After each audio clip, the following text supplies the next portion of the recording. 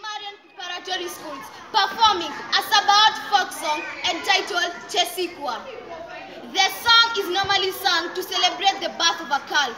Welcome and enjoy. Oleo!